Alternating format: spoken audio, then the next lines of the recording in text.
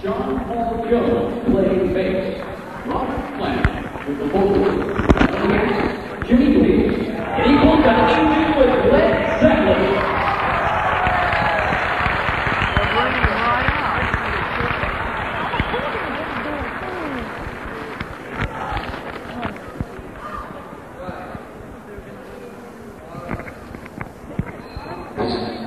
Ten.